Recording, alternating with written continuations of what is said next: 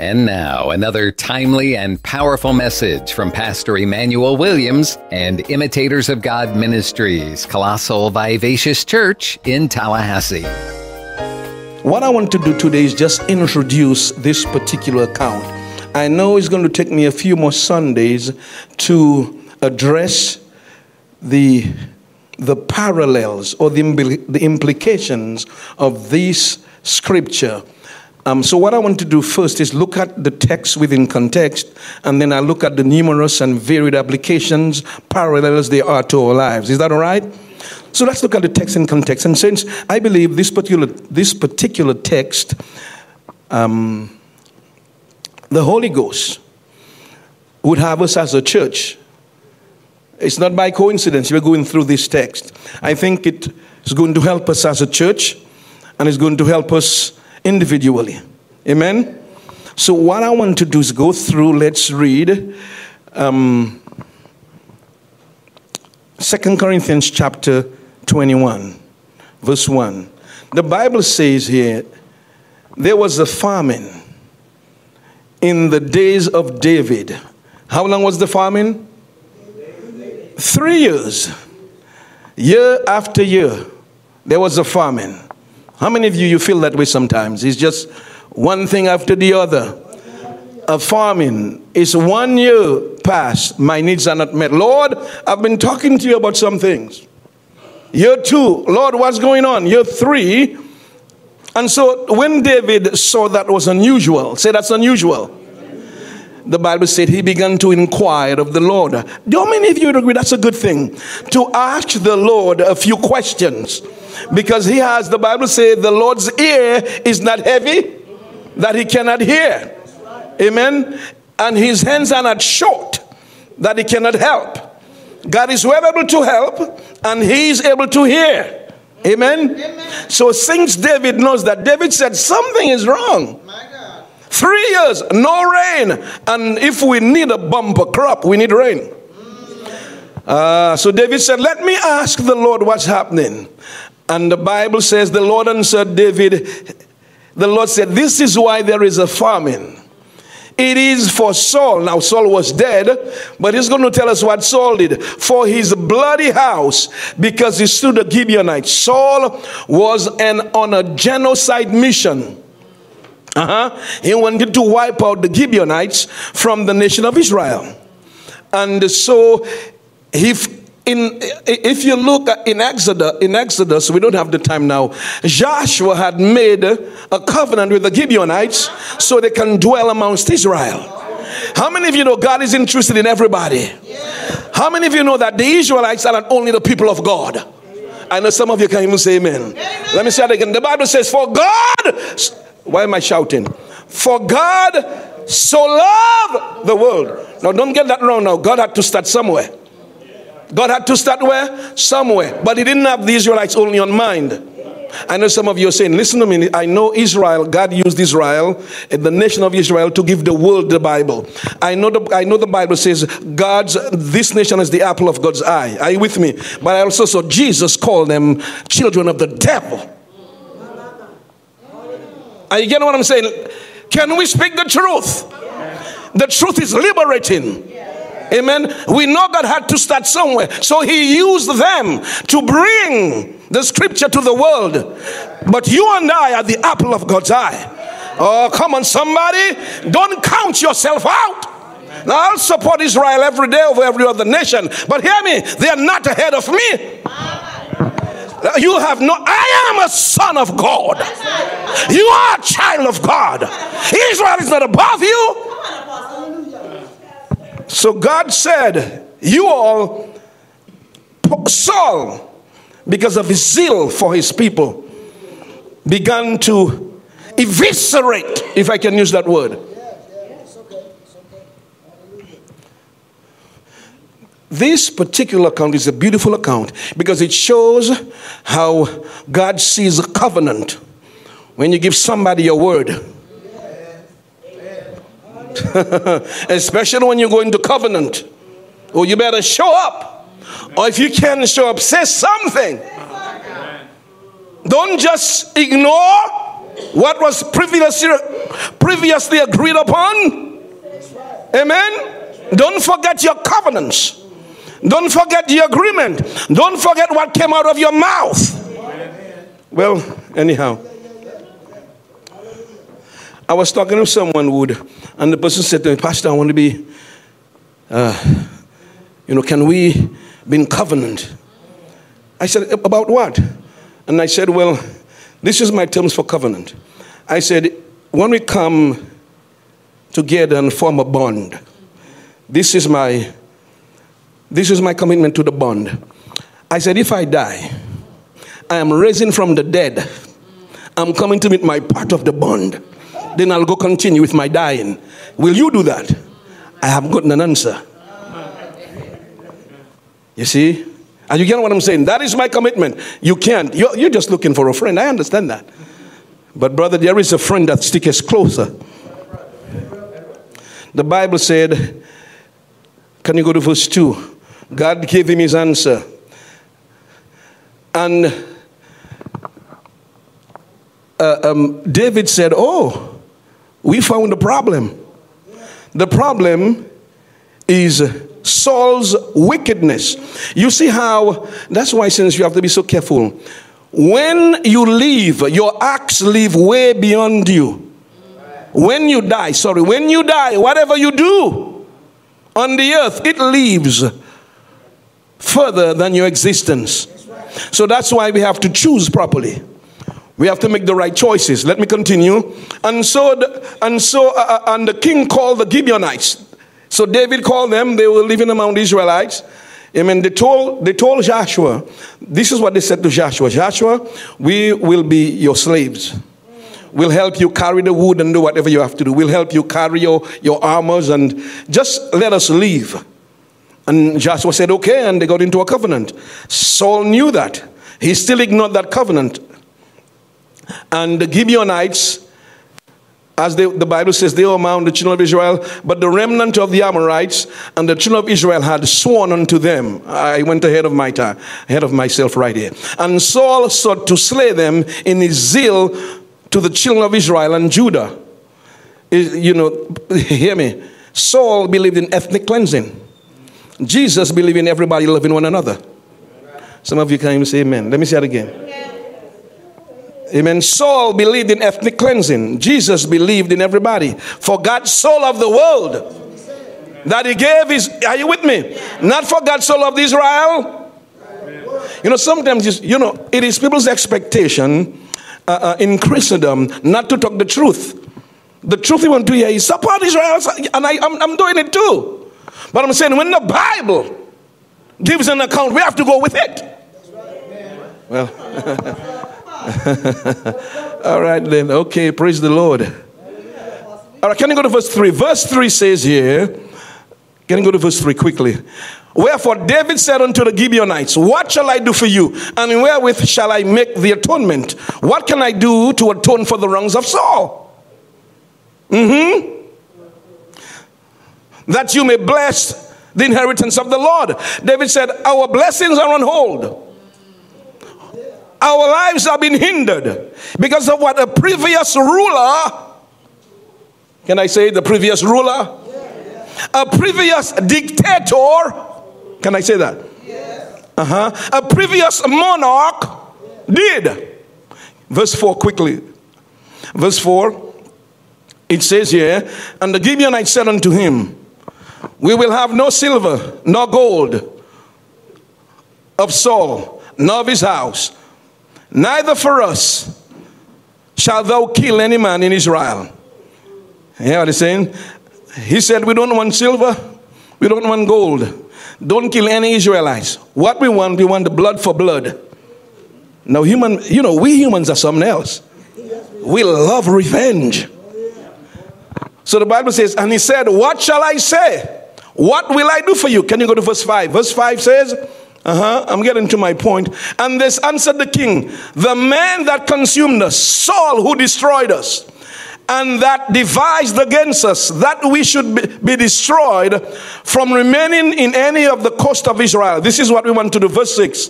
Verse 6 says, Let us, let seven men of his sons be delivered unto us, and we will hang them up unto the Lord in Gibeah of Saul, whom the Lord did choose. You know, God chose Saul. Okay? And the king said, I will what? they said, Give us seven sons of Saul, whether they be immediate sons or grandsons. Give them to us so we can hang them. We want blood for blood. You know, the Bible, listen to me, the Bible is, is just explaining what happens in that culture. Let me say it again God is not condoning that, God is just reporting. Amen? How many of you thank God for, thank God that we live, we live now in, in a democracy? Well, some of you don't sound like you're happy. Some of you sound like you want to live during when one man rule. When one man rule, all he had to do is turn his finger this way and you're dead. Oh, we thank God for democracy. Hallelujah. Oh, we bless you, Jesus. Since we have to talk the truth. You know, sometimes it's very uneasy talking the truth. Hello, brother. Hello. You know, sometimes it's uneasy talking the truth. but because I've surrendered to Jesus, it's not, it's not hard. Amen. Praise the Lord. The truth is like a sword, it cuts both ways. Oh, yes. So, so here, here now, here, they said, We need these men. And David said, I'll give them. Verse 7 quickly. David said, That's what you want? Because we want the famine to stop. But the king spared Mephibosheth. I'll explain that later. The son of Jonathan, the son of Saul. You know, when Jonathan and Saul died, Amen. Son, uh, uh, that was um, Saul's son, firstborn. He, he had a covenant with David. He said, David, I want you to take over my family, protect my family, defend my family. Amen. So God, so that was Saul's son. So David said, I'm not giving them Jonathan. I'm in covenant with him, even if he's not alive. Amen. So, so he said, um, uh, so there was an oath between David and Jonathan, the son of Saul. Verse 8, quickly. Verse 8 says here, But the king took the two sons of Rizpah. She's the one I want to talk about today.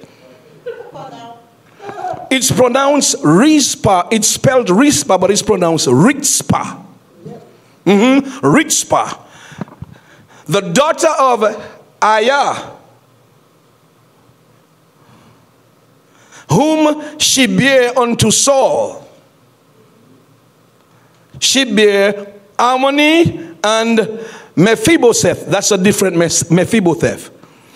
Saul had two Mephibosheth in his family one a son, the other grandson. Mm-hmm. That's his grandson. Uh-huh. And the five sons of Michal. You know, Michal was David's first wife. Saul gave David Michal. Amen. And when Saul and David fell, amen, Saul took Michal and gave him to another man. And she bore that man a lot of children. Do you what I find strange? Saul gave Michal to another man. Do you know when David became king, he still went for his wife? He had so many wives and concubines. Just leave the man with the one woman. Amen? You have to go back. You got 12, 13. And the Bible said, listen to me, the Bible said that the man loved his wife so much, he, he cried all the way. he followed behind, I want my wife. Anyhow, David said, No, she was my wife first. You almost read the Old Testament sometimes. You'll just laugh. How many of you you like a good belly laugh? That's what will happen as you read God's word. Anyhow, so the Bible said David gave. Anyhow, let me move on. Amen. Her husband name was Adriel, the son of Barzillai, the, uh, the Meholathite. Can you go to verse 9 quickly? Uh huh. 9 and he delivered them into the hands of the Gibeonites and they hanged them in the hill before the Lord and they fell all seven together all seven men were hanged And they fell all seven together and were put to death in the days of the harvest. Important, in the days of the harvest, in the first days, in the beginning of the barley harvest. I'll explain that because there is a reason why God is giving us these times, these seasons. Are you with me? There is a message. As I said, I'm looking at the text in context. Then we look at the implication, the parallels that can be drawn from the text. The Holy Ghost saw it fit to put this account amongst numerous in the Bible for us. Amen. The truth be told, this account has radically changed my life. When the principles, amen, are submitted to and lived out. Can you go to verse 10? Verse 10 reads, verse 10 reads, uh huh. And who's that? Rizpah, the daughter of Aiah, took sackcloth and spread it for her upon the rock. From the beginning of, here it comes again, from the beginning of harvest until water dropped upon them out of heaven, and suffered neither the birds of the air to rest on them by day, nor the beast of the field by night. Can you go to verse 11? And it was told David what Rizpah, the daughter of Aiah, the concubine of Saul, had done. See what's happening here? Two of her sons are hung. Mm-hmm. And she said to herself,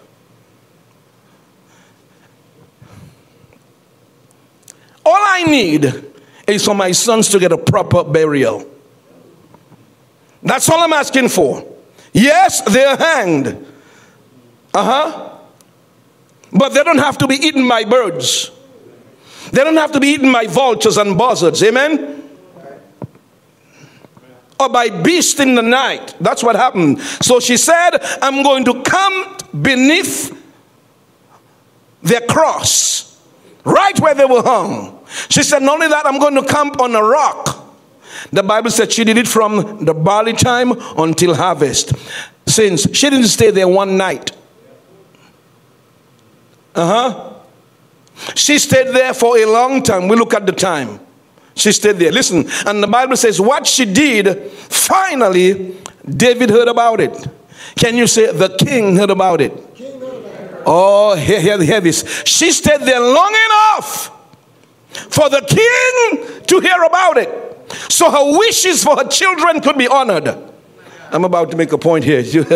oh, glory be to Are you hearing me? Now, now listen, listen, listen. Hear, hear me now. She stayed there how long? Long enough for the king to hear about it. So that the wishes for her sons. Let, me, let me tell something. Sorry about that. Let me, let me share something with you. Do you know that our kids, our children, our children who are spirit filled, full of the Holy Ghost, when they leave the church and they go and they go to universities. Well, and, and they, what? they go to universities and they get influenced by a secular professor. Sometimes they come home and their faith has been torpedoed. Look, they leave spirit filled, they come back spiritually dead. And listen, bro, mothers, you can do something about it. Uh, uh, you, you, there is a silent cry out there. This is a silent cry. Our kids are going out to college and they're coming back unsaved. What's happening? Our kids are going to the workplace and they're coming back unsaved. What's the problem? Listen to me. Look at what Rizpah did and you'll get your answer. You know, this is what I want to say. My wife told me about a month or two ago she had a dream. The dream was she was casting out the demon out of a, of a child. And um, I've been, I was walking, asking God, what is that about? Casting out a demon from a child. And while I was walking, the Lord said to me, Our children are under attack by the devil. Our what? Our children are under attack. But you know, you know, while we fight with one another, Hello? Some of you. while we are still looking, amen, to be satisfied, while we are still looking, amen, amen. Are you getting what I'm saying? Still looking to to uh, to be right. Can I say that? Uh, still looking to be right, not realizing we have a younger generation to fight for. I know the, the amen will be a little scarce, but that's okay. Just, just stay with me. Praise the Lord. You, you understand what I'm saying? While we are still looking to be right, still, they are looking. They are looking. Mm-hmm. And the devil is saying, You fight on. Mm-hmm. You try to be right because that child here, there I want. That young generation, they are the ones I'm coming behind. They are the ones I'm after. Are you getting me? And so that's what's happening, brothers and sisters. And so what, the dream, God said to me, this is what's happening. And hear me, hear me, it doesn't have to be a child. It could be something you birth. it could be something God has placed on your heart. Amen. To bring forth. But whatever it is, I have a couple steps to give us. Amen. Because I'm going to share with you how people have heard this story and they've used it to radically change their lives. So the Bible says, I'm um, here, uh, the, the king heard, and notice what the king did. The king didn't just say and do nothing. When David heard that the lady has been camping beneath her son's dead body, now hear me, I, will tell you quickly. The barley, the beginning of the, the beginning of harvest, sorry, the, the barley time is the time they planted. That was between uh, March, April. The harvesting time was around November. That's about six months. Six months the lady camped beneath the dead body of her sons. By the time the king heard the boy's body were rotted. Can you imagine the stench, the smell? But she stayed right there. She wanted God to honor her wishes for her children. Let me tell you what rich, let me tell you what Rizpah knew, we do not know. She knew, even though the umbilical cord, the umbilical cord is severed during birth, the influence is still there. Psalms 120, Psalms 127 says, Children are like arrows in the hands of their parents. Rizpah said, These are my arrows. Yes, they are dead, but there is one more wish I have for them, and I will not be denied. uh, uh, there is a silent cry, elder. Why are our children going off to college and they're coming back unsaved? Twice the child of the devil. What's going on? Hmm? What's happening? What is it? What's going on? Why aren't we vigilant in ensuring that our kids are taken care of? And hear me, hear me, brothers and sisters. Can I be honest with you? I don't know if you noticed, but right now, you know who, do you know who came out the closet? Witches. Witches. They are now on Facebook calling themselves Christian witches. That's an oxymoron. You know that? Hello, somebody. They call themselves because you know why the, you know why they're coming out now, Doc? We Christians, we are in. We're in the house. We're going nowhere. Hello. Hello. Well, do you know churches? Not, you know churches. You get spiritually lifted, but sometimes you have to get corrected. Amen. Christians are now staying home. The witches are out. Well, advertising, we are now Christian witches. Yeah, the devil is a liar. Hear me, saints. I'm hoping, this is my hope, this is my wish, that after we, we are done with that, se- that series right here, many of us, not only mothers, but mothers and fathers, will take our place. Amen. We'll take our place on the rock where did she take her place? On the rock. what the Bible said, she spread some sackcloth. Can you say fasting? Yes, sir. She spread some sackcloth and ashes over her head to show she's humbling herself. Uh huh. She to show that that is how you fight. Listen to me. Fighting in Christendom is not easy. fighting is uncomfortable. You got to deny yourself of some things.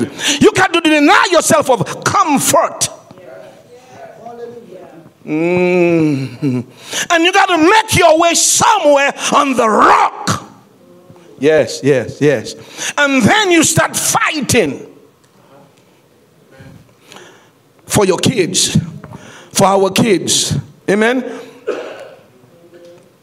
I'm hoping, saints, let's finish here. Let's read verse 12. Verse 12 says, listen to what verse 12 says. Verse 12 says, And David went, when the king heard, what did the king do? He went and took the bones of Saul and the bones of Jonathan, his son, from the men of Jabesh Gilead. Now, listen, Saul had died, and the body of Saul and Jonathan was desecrated. Saul did not go for it, uh, David did not go for it because this man really tried to kill David. And so David left his bones. But after, listen to me, hear, hear how powerful this is. After what Rizpah did, after what she did, when David heard that, listen to me, everybody else benefited. it wasn't only her son, the previous king's body was taken down. And by that time, you know what they found when they went to uh, uh, retrieve uh, uh Saul's and Jonathan's body? Did you know what they find? Only the skeleton, just bones. Buzzards ate them, wild animals ate them. And David came and he took down the bones of Jonathan. He took down the bones of Saul. And then he went and he took down the bones of Rizpah's two sons. Not only Rizpah's two sons, Michal's. What, where was Michael? Her five sons were desecrated also. Where, where was she? She didn't show up. Hear me, hear me. Can I say something? Some mothers just don't show up. Hello? Hello? Some mothers just don't show up to fight for their kids. Can I push it further? Some fathers just don't show up to fight for their kids.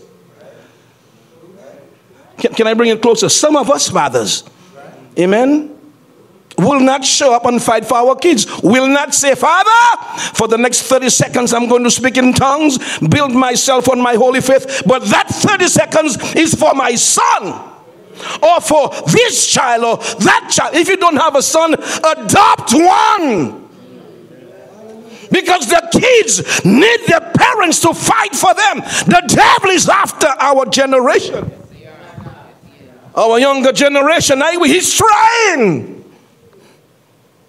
But it's time for us to take place on the rock. Just recently, my wife and I, somebody we know so well, somebody we loved, so know so well. We just happened to be talking to him, just a pastor. And so we heard some things. And about to go to college, we heard some things. And so I ask, Is Jesus Christ your Lord and Savior? And he said, mm. Now, this is a child we knew from church. You know, parents usually say, Well, I don't know what's going on. We raised them up in church. You did not. You brought them to church. you brought them to church. Amen. Hello? You brought them, but but but did you do what the Bible says we must do in Deuteronomy? The Bible says, as a parent, you're supposed to take, teach them the word of God, write the word of God on the doors of your house. On, are you getting me? You as a parent has a part to play. You're supposed to come, take the Bible, and read with them. Hello, and ask them, What's going on? What do you think by that? It's amazing when Emmanuel and I sit to read and I ask him, What does the Bible say here? You know, they know. Do you know they know? They behave like they don't. They're just waiting for you to enforce it, waiting for you to support what they believe in. They're not waiting for no preacher to, to do that. They're waiting for you as a parent to say, Yes, son, that's correct. Well,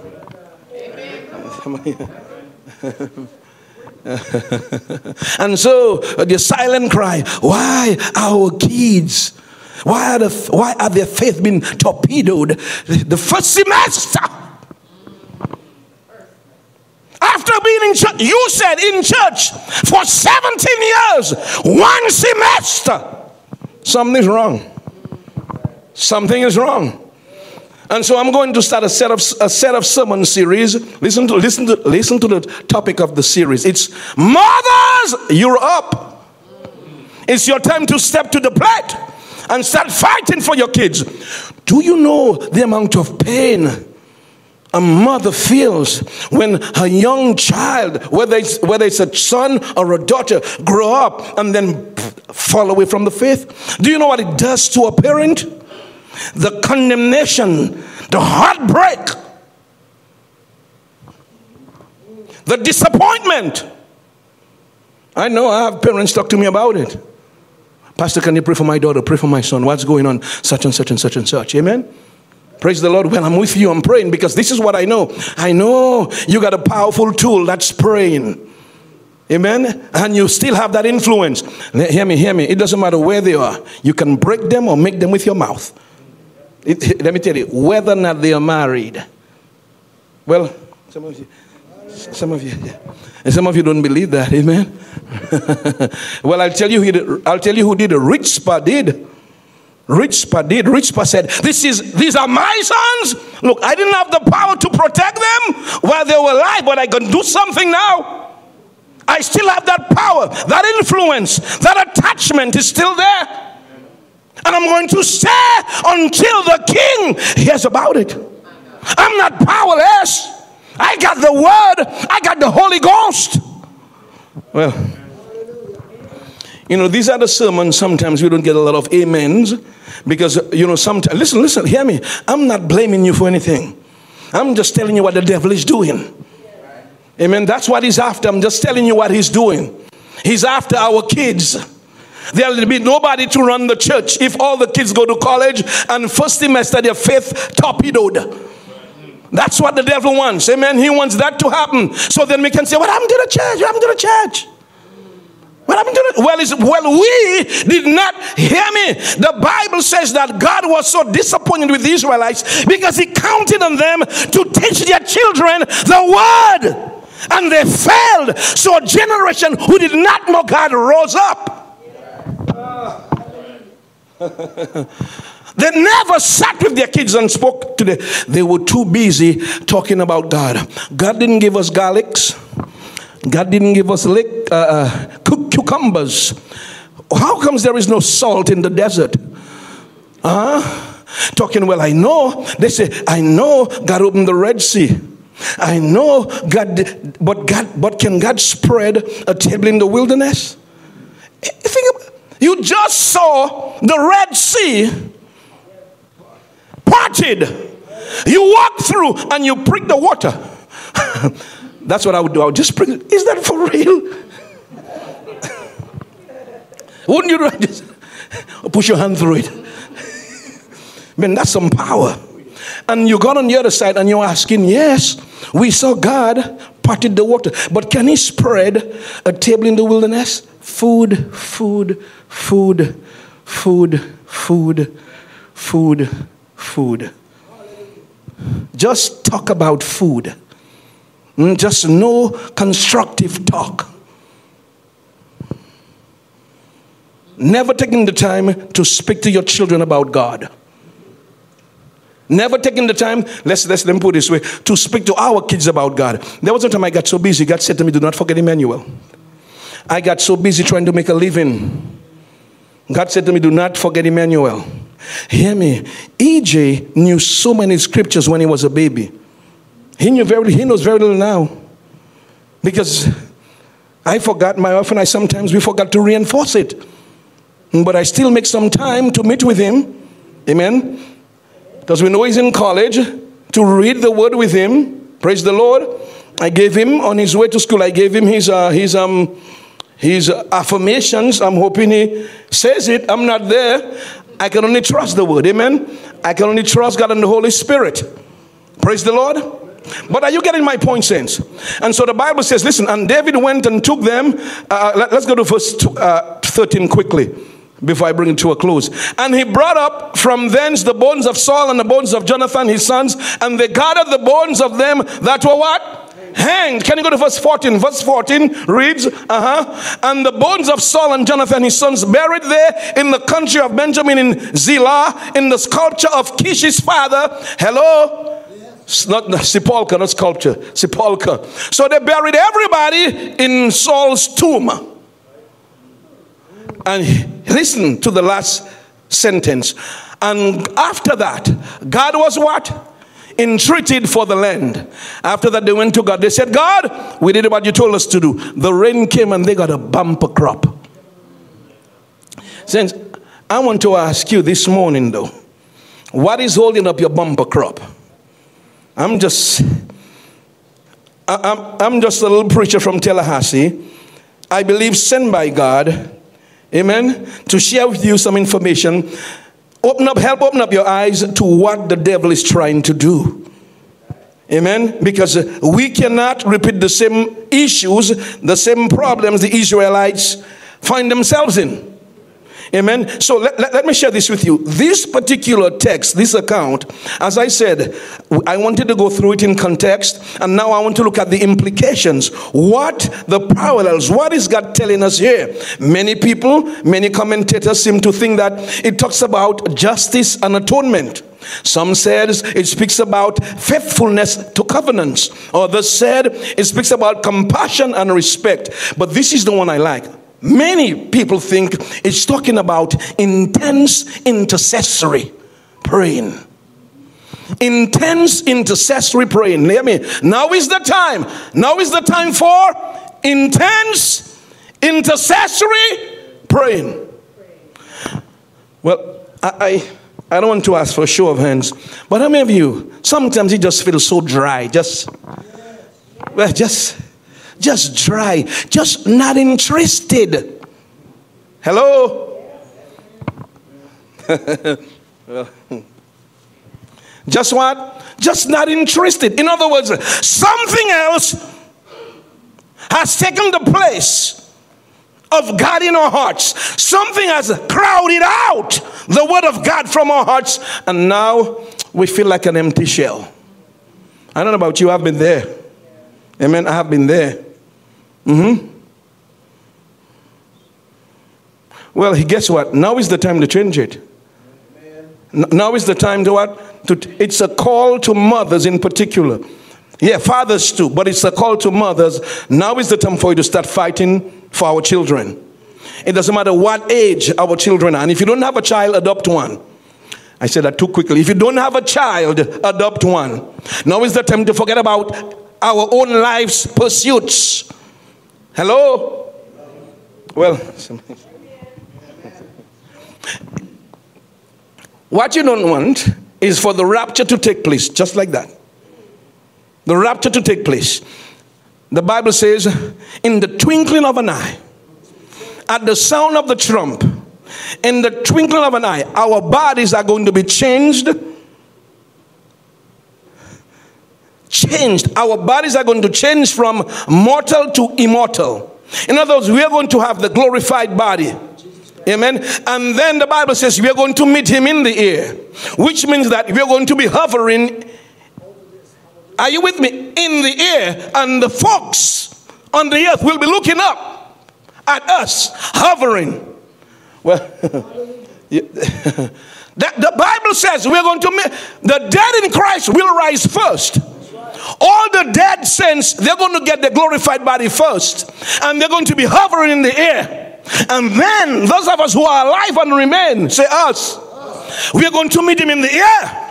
And the world is going to be watching. And then Jesus is going to say, Let's go. And everybody just disappear. You want your child to be there. Let me tell you, you want your baby boy, your baby daughter to be there. There is a verse in Revelation that always strikes me. It says, God has to wipe the tears away from our eyes. Because we'll have, we'll know whether or not they are there. We'll know whether or not they're there. And the thought of they being not there, Lord have mercy. The thought of what's going to happen to them in the hands of the Antichrist. That is why I'm appealing to those of us who are here this morning. Since, hear me. Now is the time for intense intercessory prayer. Now is the time for what? Intense intercessory prayer. The devil is not playing. You hear me? He's out. Male wizards, female witches, they're out. Are you with me? It is time that we take the authority we have. Why is this shit so cold? I mean, no amens at all. Let me see. It is time we take the authority we have. I'll tell you, I think we are tired. Amen. That breakfast, that breakfast full of carbohydrates just have us weighed down. And not an amen. Not an amen. Amen.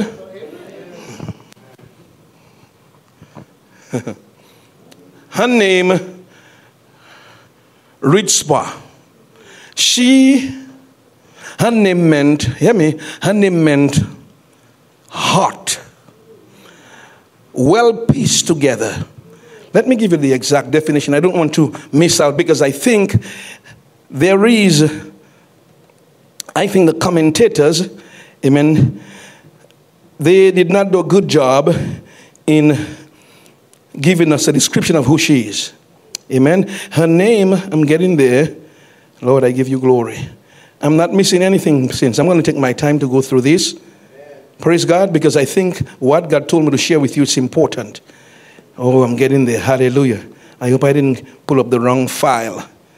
Oh, so much to talk about. God is so good. It's coming. Hallelujah. Yes, right here.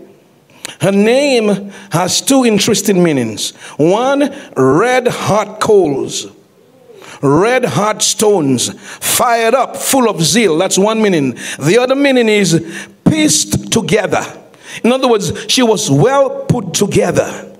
And since people's names were inextricably linked to one's character and sometimes even their appearance. One commentator said, listen to what he said. He said she was a very attractive lady. Uh, meticulously pieced together or put together by God. In today's world, uh, colloquially, she would be described as a hot mama.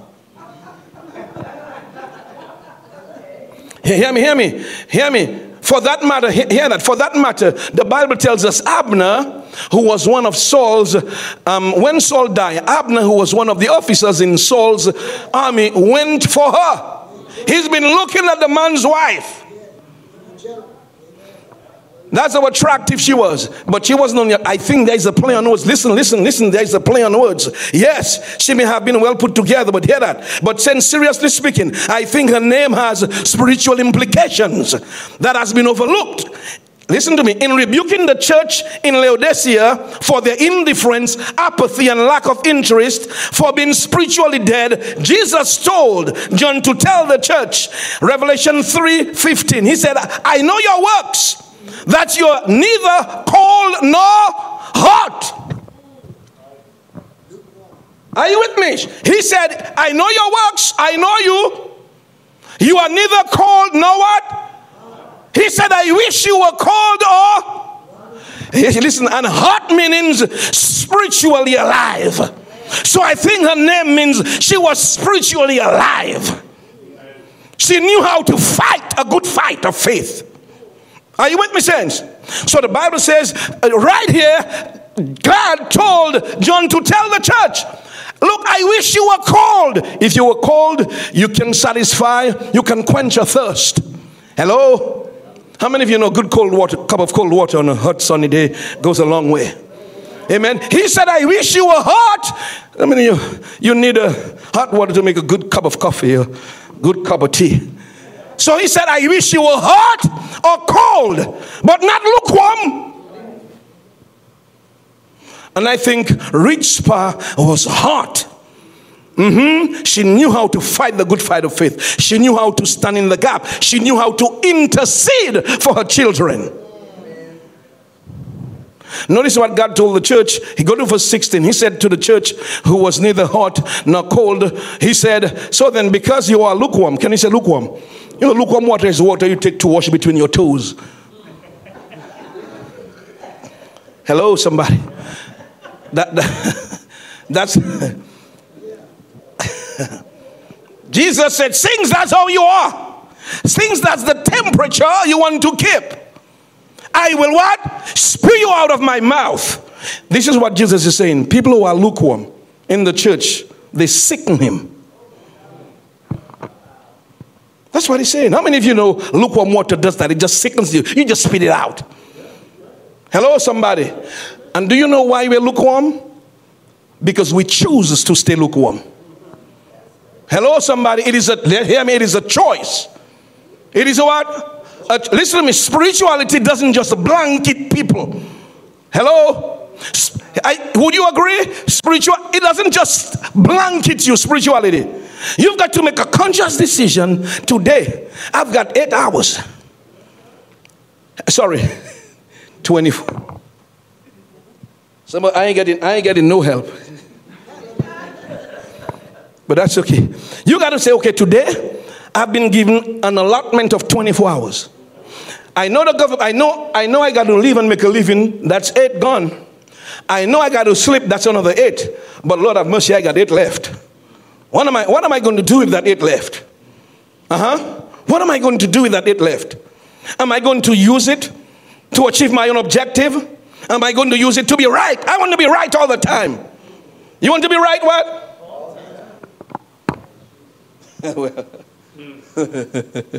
Hallelujah. Huh? Or, or, look, it doesn't take it doesn't take a lot. It, it doesn't take a lot. 30 minutes, 45 minutes.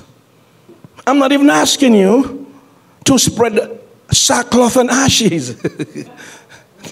I'm not, nobody's asking going to fast. No, that will help. That will put the devil in his place, and that will help us rescue our kids. Are you with me? It'll give us the influence. Let's, listen. Mothers, hear me, hear me, hear me, mothers. You have influence over your children, whether they're married or not. I have seen it. I, for that matter, for that matter, a mother and father can choreograph the life of their children while they're born. You can say what they're going to be. So, example. Can I give an example? I was born. I was born. I didn't know. My mother said, because I'm the third, my two first brothers died. Uh, Ezekiel and Dorian died. And, and she said, she said, when she got pregnant with me, she went to God. She said, This one is not dying. The two first ones died. She said, I want you to name him. She said, The name Emmanuel came in a dream. So she started calling him. She didn't even know what he meant. She was a Catholic. She did not know what Emmanuel meant.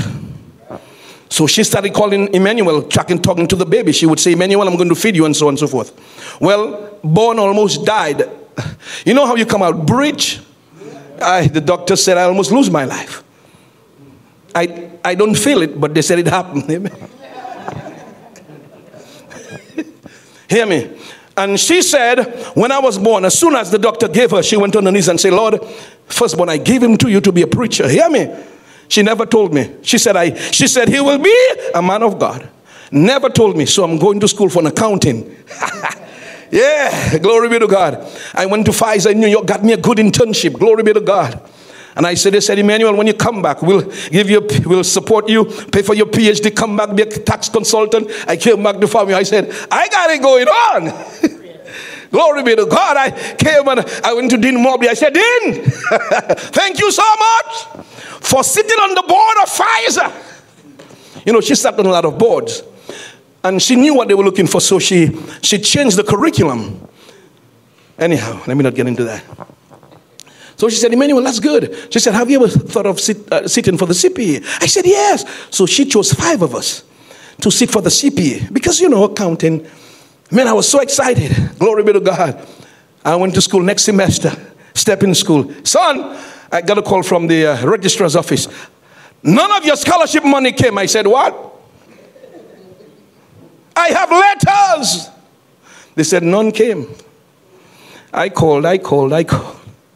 I called, I called, I called, I called. Would I called my mother. I said, Mommy, can you pray with me? What's happening? What she said, What son? I said, All the scholarships I had disappeared. I said, Mom, it's not because of bad grades. We had a change of government. The other government established ties with Cuba and Libya. And so those of us who were here, they never supported us anymore. Uh, Dr. Humphreys, who had promised me an out of state, left FAMU. So the out of state disappeared. He never put it in paper, in writing. Just one thing after the other. And I said, when I explained to her, she said, You're saying you have no money. And she said, Oh, he didn't forget.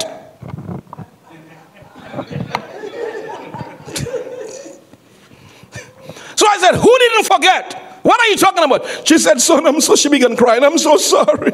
When you were a baby, I went on my knees And I gave you to God to be a preacher. And I never told you because I wanted you to make that decision yourself. She has integrity. She never said to me, You have to be a preacher. She gave it to God, and God takes covenants. Serious! Some of the things we've been saying on our kids about our kids, we better stop it. Hello, somebody. And that's why I am where I am today. I wanted to be an accountant, but my life was pretty much choreographed, spoken over by a mother. That's why I'm telling you, mothers, you are up. It's your time to bat for your kids today. It's our time here, yeah? and not only mothers, fathers too. Because the world is after our kids. Young men, you are strong. That's what the Bible says. And the devil is looking for strong kids. Mm, because you've known the Father. He's after our kids, He's after our little girls. He's after our little boys, our babies, because he wants to take them to hell. You see, the young generation, you can some way, uh, I'm looking, influence them. There's a word, um, that's the word, indoctrinate them. So that's what he's looking to do. He, can, he, he, he, doesn't have, he doesn't have much for us. Yeah, he'll try to tempt us, and, but he's after our kids. And God sent me this morning to sound the alarm. Even to parents today. Are you with me? Do like the very first thing, and I'm going to bring it to a close. I know that's my third time saying that, but believe me, I'm going to take it to a close. The very first thing, the very first thing Rizpah did, let us see what she did when her sons, when she heard her sons were hung. What did she do? Can you go to uh, verse 14, I think? Is it verse 14? Can uh, verse 10, I think. Is it verse 10 or 11? You'll see. 10? Uh-huh. And here and rich and Rizpah, the daughter of Aiah, took what? No, let me tell you what she did. She called her friends and she said, You all, do you know what happened to my sons? You know, you know, the, my sons, I, no, she didn't do that. She said, It's time to fight. It's time for intercessory prayer. Enough talk. I have one last wish for my sons, and that they be not dishonored. It doesn't matter how long. Listen, listen, listen, since you do not hear me, we can fight so our children will not dishonor us or they won't be dishonored.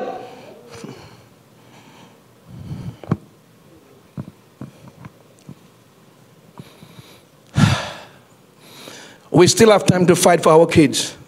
We have to stop talking about them the wrong way. It doesn't matter how much, how we feel, we have to say, She's a good boy. She's a good child. She's a good girl. Thank you. She's a good girl. She will be such and such.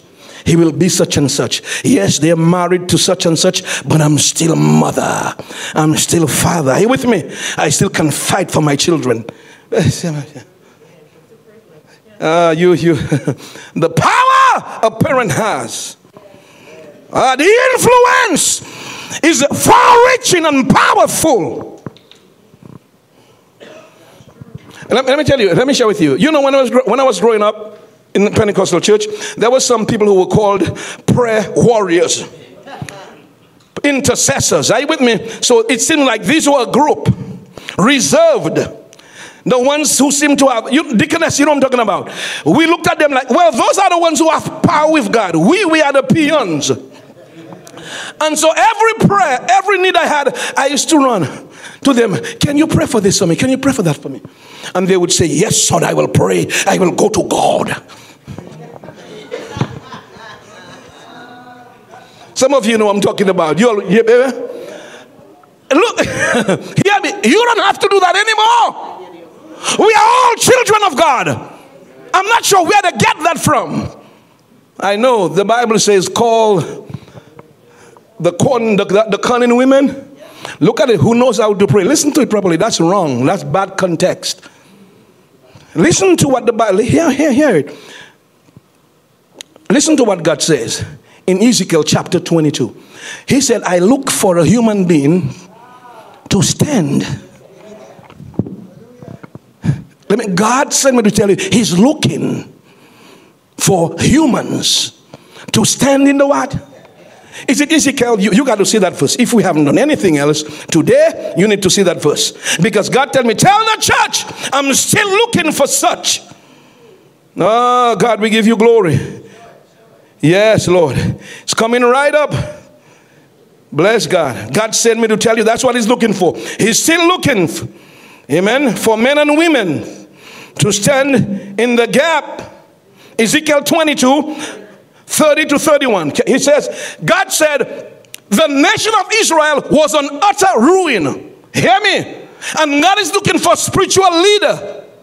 Somebody he can talk to, somebody he can influence to change the direction of the nation. And God said, I sought for a man. The word man here means mortal, M O R T A L. So it could mean man or woman. Amen. I sought for a mortal among them that should make up the hedge you know what is to make up the hedge? You know what the hedge is? A hedge protects. Somebody who would surround the nation with prayer. some mother, some father who would surround their children with prayer. Hold on, see, and stand in the gap before me for what? Stand in the gap before me for their children. And what happened? that I should not what? Destroy it. Here is what God said. But I found none.